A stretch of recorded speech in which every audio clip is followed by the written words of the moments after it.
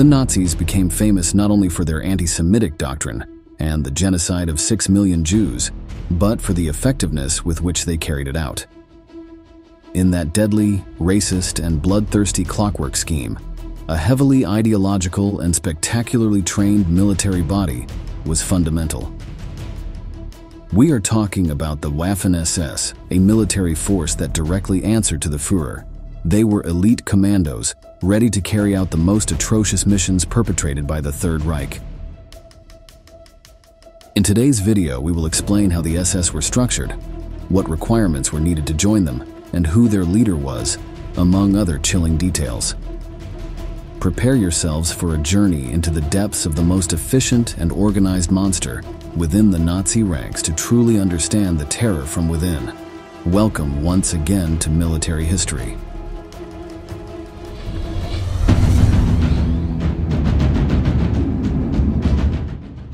In the dizzying scenario of the Second World War, the Schutzstaffel, known as the SS, emerged as an ominous entity amidst history. Established in the early days of the Third Reich, these paramilitary forces embodied the very essence of National Socialism, bearing the emblem of the intertwined double S as a sinister oath. From their genesis, the SS took on various forms, from the feared Gestapo, which was the manager of fear and internal repression, to the Waffen-SS, the military branch deployed as a sharp spearhead on the battlefronts.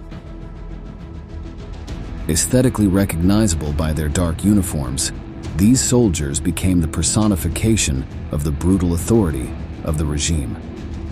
However, beyond uniformity, the SS were the minds behind dark ideologies. Hitler, with his distorted vision, shaped soldiers not only for combat, but also for fanatical devotion to the cause of the Reich. The indoctrination, as essential as physical training, cemented loyalty to the Aryan race and ruthless savagery at the core of the SS. The iconography, from the skulls on their uniforms to the tattoos of soldiers' blood groups marked on their bodies, created an indelible image in history. Not only were they terrible, but they made sure to be visually memorable and terrifying to the enemy and to history. The testimonies that have emerged from those who lived under the command of the SS are truly chilling. The soldiers, marked by forced loyalty and systematic cruelty, left accounts that paint a grim picture of life within the ranks. Versuchen sich vorzustellen, da ist ein Graben, da stehen Menschen an einer Seite und dahinter stehen Soldaten, das waren wir, und die haben geschossen. Und die getroffen wurden, die sind runtergefallen. As we delve into the intriguing world of weapons used during that turbulent historical period, we find that, in terms of their arsenal, they did not deviate significantly from the military standard. In the clutches of the Waffen SS were deposited tools that would become icons of the Second World War. In the realm of handguns, the Luger P08 stood out, recognized for its elegant design and battlefield effectiveness, and the Walther P38, a highly accurate semi-automatic pistol that earned its place among elite soldiers. As for rifles, the imposing presence of the Mauser Karabiner 98K resonated on the battlefields. This bolt-action rifle, known for its reliability and unfailing accuracy, stood as the loyal companion of Waffen SS fighters. Adding to this repertoire, the MP-38 and MP-40 submachine guns, nicknamed Schmeisser on the front lines, earned their reputation as compact and lethal weapons in close combat. Third careful selection of this equipment reflected the efficiency and lethality sought by the Waffen SS in their operations. In the hands of these disciplined soldiers, these weapons were not just tools of war, but a manifesto of their will to eradicate the inferior race. The belief that each militia of these troops was a unique specimen of the human species was not only an ideological delusion, but was cemented in the selection of the best men for this elite military force. The Waffen SS formed their ranks with criteria, as rigorous as they were discriminatory, as recruits for this force were not just soldiers, they were selected guardians of a distorted ideology. The idea was that these men would shape the Germany of the future, as described by this specialist in a documentary. Las SS iban a ser el clero del nuevo Reich, del Reich de los mil años. Ellos eran las personas que iban a estar a cargo de la ideología y la pureza ideológica del Estado. The entrance requirements were a portal to a world marked by fanatical devotion and ferocity, unleashed by the belief in a genetically superior being. For selection, it was fundamental to be affiliated with the Nazi Party, to have a deep connection with the precepts of Nazism, and to feel an unwavering commitment to the cause. But the filter didn't stop there. Young men between 17 and 22 years old were sought, physically fit, with a minimum height of 1.75 meters, thus embodying Hitler's vision of racial superiority. Aryan perfection became an unavoidable requirement for applicants. At least two generations of pure ancestry in the candidate's genealogical tree were demanded. In various selection tests, candidates had to demonstrate a physical state, bordering on impeccable, a reflection of the perfect body that Hitler imagined as the essence of his elite army. Initially, when the war had not yet plunged into total chaos, admission was voluntary and only 15% of applicants managed to cross the threshold. But with the urgency of the conflict, the doors opened more widely, although the selection process maintained its unyielding pulse. Recruits, mostly from Hitler Youth, were subjected to even deeper ideological indoctrination. More than soldiers, they were shaped as ambassadors of the new Nazi order, bearers of a mission that went beyond the borders of the battlefield. Thus, the recruitment requirements of the Waffen SS were not only a selection protocol, but the meticulous construction of a caste of soldiers who would embody the darkest and most discriminatory vision of history. This process forged the foundations of a force extremely feared by friend and foe alike whose truculent forms and sinister deeds marked German military history with blood. The man responsible behind the scaffolding of these elite troops was as wicked as the men he directed. Among the most prominent figures of the Third Reich, there stood out a perverse figure that personified the heart of repression and cruelty. Heinrich Himmler stood as a diabolical puppet master, manipulating the strings of racial obsession and unrestrained brutality. Himmler, a man with an apparently harmless appearance with his glasses and serene demeanor, was the embodiment of evil disguised as bureaucracy. As Reichsfuhrer SS, his influence transcended military boundaries and spread like a toxic web infiltrating every aspect of the Nazi machinery, becoming Adolf Hitler's private advisor. Under his command, the SS became Hitler's preferred tool for the execution of his delusional plans for racial cleansing. Himmler was the architect of the Holocaust and devised the final solution an abomination that would seal the fate of millions of innocent Jews. His mastermind designed the system of concentration and extermination camps where human suffering became commonplace. But this man was not only the executioner in the shadows, but also a fanatic ideologue. Obsessed with creating a pure Aryan race, he directed inhuman experiments in search of genetic perfection. The twilight of the war did not stop Himmler's machinery. In his final days, he tried to negotiate peace with the Allies, seeking an exit for himself. Betraying Hitler himself showed that he had no principles at all. But justice finally caught up with this architect of horror in May 1945 when he was captured by Allied forces. In his hands, the SS transformed into a diabolical force that left indelible scars on the memory of the 20th century. Let's review some of the atrocities carried out by these ruthless troops. The brutalities committed by the SS manifested in systematic savagery and heartless cruelty. From the invasion of Poland in 1939 to their torturous presence in concentration and extermination camps, their bloody footprint spread across Europe like a dark specter. In the occupied territories, the SS carried out massive, indiscriminate, and often grotesque executions. Entire villages were decimated, while women, children, and the elderly fell victim to the relentless machinery of repression.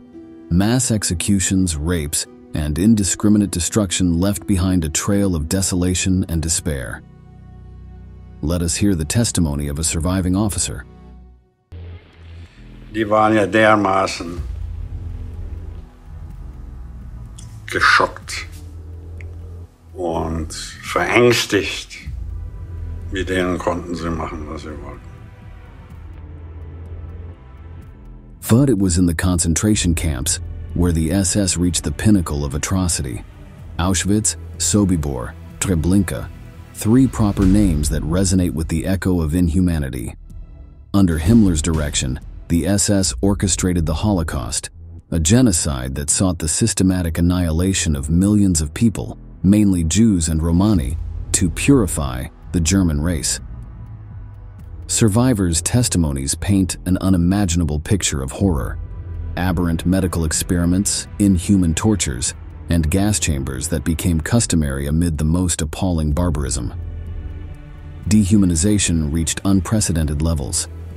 The death machinery of the SS operated with mechanical efficiency, eliminating tens of thousands of prisoners in periods of less than a day. Many of the responsible individuals still show no signs of remorse, as evidenced by the following testimony of a former combatant. Stalinistischer Bol Bolschewismus und haben versucht, unser Land davor zu schützen äh, und vor allen Dingen vielleicht ganz Europa. Wenn wir den Bolschewismus nicht aufgehalten hätten, dann wäre er auch über ihr Land gekommen und vielleicht nach Frankreich und so weiter. Ja, bis an der Kanalküste. Ja, genau. Rose. Some of the leading figures of this force emerged as sinister shadows that transcended the brutality of the conflict. From charismatic leaders to ruthless commanders, these personalities left an indelible mark on history, embodying the face of a racist and ruthless ideology, in addition to their Machiavellian leader Himmler, who sowed the seeds of hatred and violence. Other proper names also stood out in this elite corps, known as the Blonde Beast. Reinhard Heydrich was the architect of the Night of the Long Knives and also one of the main ideologues of Nazism. His cruelty unleashed itself as a relentless display of repression, and his figure left an indelible scar on the history of the SS, instilling terror in both enemies and within the ranks. On the military front, Joachim Peiper embodied the fiery youth of the Waffen SS. At 29, he led armored units fiercely on the Eastern Front.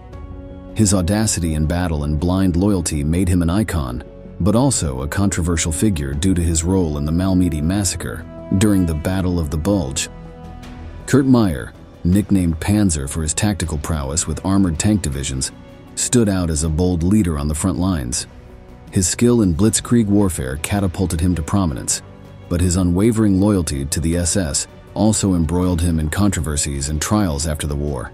He always denied his responsibility in the events and claimed to be following orders and defending his country. On the Eastern Front, Hans Ulrich Rudel was known as the Iron Knight. As a Stuka pilot, he destroyed over 500 enemy tanks and became the only soldier in the force to receive the Knight's Cross with oak leaves, swords, and diamonds. His bravery in battle earned him respect even from his enemies, although his military legacy was tainted with inhumanity and racism. They were crusaders of an ideology, as pointed out by this specialist. Había una ceremonia de coronación, un ritual como se hacía con los caballeros en la época medieval. Pero un oficial de las SS, el caballero moderno, el caballero teutónico moderno, recibía su anillo, recibía su insignia. Figures, among many others, generated a dark and complex narrative in the history of the Waffen SS. When one thinks of the Nazis, the focus is often on this elite military body. But there were other militias that were just as terrible and efficient as these sinister soldiers. On the battlefields of World War II, two German forces stood out with ferocity and tactical skill. In addition to the SS, there were the Heer, the prestigious ground forces of the Wehrmacht, the name given to the unified armed forces of Nazi Germany. These two entities, while sharing the same purpose of defending the Nazi machinery, were distinguished by their unique characteristics, forging divergent paths in military history. The Heer, or Heer in German, represented the backbone of the Wehrmacht. They comprised infantry, artillery, armored units, and all ground branches, that constituted the bulk of the war machine. Infused with the spirit of blitzkrieg, the Heer launched lightning offensives that surprised and overwhelmed their enemies. With a more conventional structure, the Heer recruited soldiers from all spheres of German society. While they did not possess the same level of Nazi fanaticism as the Waffen SS, they earned a reputation for military discipline, solid tactics, and determination in combat. Their presence was constant on European fronts, from the deserts of North Africa to the forests of the Soviet Union. On the other hand, the Waffen-SS were the cream of the crop of the Nazi army. Their black uniform and the famous SS runes became synonymous with unrestrained brutality, although later in the war they abandoned aesthetic pretensions and dressed similarly to the Heer, however. They never abandoned their logo of the two lightning S's and the fearsome skull that identified them. The relationship between these two entities was complex. While they shared the same purpose of serving the Third Reich, their differences in terms of recruitment, ideology, and combat tactics generated tensions within the Reich, especially because Himmler believed that the SS were much more valuable and necessary for the future of an Aryan Germany than the common soldiers of the are. Meanwhile, Adolf Hitler wove his hegemonic vision of an unstoppable Third Reich. To carry out his dreams of conquest and supremacy, the Fuhrer not only relied on the Wehrmacht, but also trusted that his elite force would embody his fanatic ideals. The Chancellor saw the Waffen-SS not only as a military force but as the very embodiment of his racial and political vision for the nation's prosperous future. Hitler considered the SS the vanguard of his projection of a new world order. Through a rigorous recruitment process, selecting pure Aryans and devout fanatics, Hitler aspired to forge a force that would not only be feared on the battlefield, but would also inspire terror in the hearts of those who resisted Nazism. The dictator and his regime intended for these men to reshape the human race across the globe with racial superiority in their blood and a swastika in their hearts. Las SS no iban a ser solo una organización política, ellos iban a ser una nueva orden de caballeros. Tenían la idea de que ellos iban a ser los jefes del mundo. Para ser un caballero de la SS había que demostrar la pureza racial. Ultimately, the Heer and the Waffen-SS, each in their own way, left an indelible scar on the battlefields and extermination camps of World War II. Their intertwined and conflicting stories narrate the complexity and brutality of a conflict that changed the course of history. The Nuremberg trials cataloged the SS as a criminal organization that violated human rights in ways never before seen, so the stain of their crimes persists in the collective memory of the German people. The hatred inoculated by the Nazi propaganda apparatus generated men who were willing to kill a compatriot over a racial issue. This is not just a theory, but it became flesh in individuals, as shown in the following testimony. Das war die einzige Überlegung. Während ja. der ganzen Zeit haben sie keinerlei Gefühl für die Leute gehabt, die jüdischen Zivilisten, die sie erschossen haben. Nein. Und warum nicht? Dazu ist mein Hass den Juden gegenüber zu groß. The military elite during the Nazi regime were banished from German society for the infamy of their actions. The history of their war crimes is a chilling reminder of how far evil can go when an ideology based on racial superiority seizes an armed and specialized militia. In the depths of this history lies the urgency to remember, to learn from the horrors of the past, to build a future where humanity does not succumb again to racist and fanatical barbarism.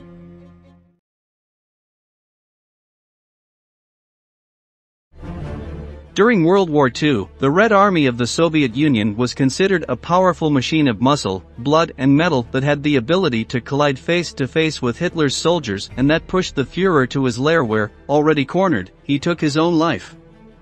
Although after this historic conflict the Soviet forces enjoyed greater infamy, becoming the potential enemy of the United States and NATO, it is undeniable that from their creation until their disappearance they have represented one of the most feared armies on earth. The truth is that, if we carefully review the history of the Red Army, we'll find stories of enormous feats or masterful strategies, even in situations where they had everything to lose. But we'll also find a very extensive amount of errors, insufficiencies, and mistakes. Many historians single out Soviet generals for being ruthless, while others call them butchers, willing to sacrifice endless numbers of their soldiers simply for whatever combat tactics they thought fit.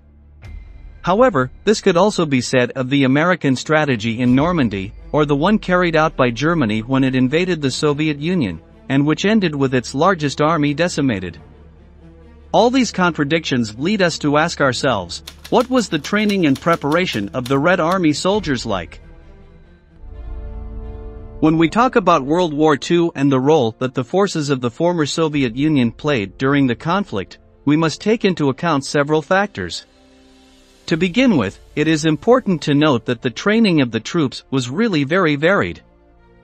In some battles, soldiers who had prepared before 1940 participated, while, after the invasion by the Germans of the communist cities, in many cases the soldiers were recruited, armed, and sent to war practically without training. In a third instance, after the recapture of territory taken by Hitler and before advancing on Berlin, most of Stalin's corps were made up of a mixture of rookies and surviving veterans. In its origins, traceable to the October Revolution of 1917, the Red Army was called the Red Guard, and was a militia made up of armed workers, with a smaller number of military or police officers who had joined the Communist Party. It was born under its official name in 1918, under the command of the People's Commissar for War, Leon Trotsky, who indoctrinated new recruits from the outset to serve both the motherland and Lenin's socialist dream. But the great crisis caused by the civil war in Russia meant that, by 1925, there were just over half a million troops at the service of the country. Although the Soviets tried to contain the loss of soldiers by integrating the most hardworking forces and militant movements, they had to sign a secret treaty with Germany in which cross-training of troops was established. By this point, the Soviets had run out of their military hotbed, the death of Lenin and the exile of Trotsky put the communist military establishment in crisis, and the need for officers led to military careers being reduced to a minimum, which was of two years, whereas, in the past, just the arms career lasted three years. Worse still, shortly after graduation, officers were promoted in rank, which lowered the overall quality of lieutenants and admirals. This problem deepened enormously in 1937, the year in which Stalin, distrusting the military institutions of his government, carried out the Great Military Purge. In a single year, the imprisonment and, in some cases, the execution of 30,000 officers, including senior army officials, were ordered. When the Germans invaded the Soviet Union, they found a country devoid of military positions, without decision-making and with power centralized in the figure of Stalin, who turned out to be a neophyte in war matters. Communist troops were poorly prepared, poorly fed, and poorly equipped. Although the uniform they wore was the traditional one, in many cases they had to carry old rifles, from the First World War or the Revolutionary period. As Germany advanced on the various Soviet cities, those veteran soldiers who had received formal training before 1941 began to die, and Stalin organized a general levy for the young Soviets to defend the nation. At that time a dark joke arose among the soldiers, take this stick, now go die for the motherland. Although today it is known that this was not the case, in a way it reflects what young Russians felt when they were recruited to protect their land. They were quickly trained in two months, trying to assimilate both basic concepts and fundamental or complex lessons as fast as possible. In a few days they were trained in shooting, military strategy and survival, among others. This generated two serious problems, the first was that the recruits had not really finished incorporating any of the new knowledge, and they lacked practice in the field. The second involved gross disobedience to the chain of command, or the inability to follow orders in a martial manner, which not only led to difficulties in operations, but also led many generals to look down on their own men and deliberately put their lives on the line. For all his power and dictatorial style, Stalin could not take his eyes off the problem he himself had created, so he decided to pardon some of the officers he had imprisoned during the Great Purge. Some 5,000 men, who had been lucky enough to go to prison rather than be executed by their own soldiers, returned to the army to restore the missing order. Added to this was the growing presence of Marshal Zhukov in decision-making. Zhukov shone in his role as organizer of the defense in Moscow, which proved relatively effective but culminated in a successful counteroffensive that devastated the German invaders. After this, he would be remembered as a butcher who was willing to give the life of every last one of his men as long as his strategy worked. The reason behind this terrible fame lies in two operations that he himself promoted, the capture of the German Sixth Army in Stalingrad, which lasted months and cost the lives of millions of Soviets, and the infamous Operation Mars. On this mission, Zhukov personally led the attack on Hitler's troops, who had fled Stalingrad and were taking refuge in Rzhev. After the offensive, 70,000 Soviets had been killed, and 134,000 had been wounded. On the German side, casualties reached 40,000, despite the fact that their strength was almost a third that of the Soviets. After recovering from the blows Hitler dealt the Soviet Union, the Red Army regained its composure. Several more marshals became involved in offensive decision-making, slightly displacing Zhukov. One of the most effective decisions was to combine the battalions so that they were composed of inexperienced recruits and surviving veterans of the defense. In this way, the troops had both strength and experience, while order in the ranks and respect for the generals were more easily maintained.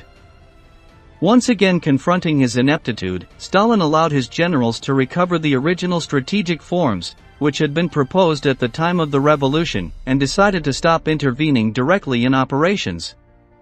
The change caused by the dictator's withdrawal from the strategy table brought a devastated Red Army to the doors of the Third Reich Chancellery, while several meters below ground, Hitler put a gun to his head, surrounded by his worst enemies. Thank you very much for joining us until the end. And stay tuned for our next video.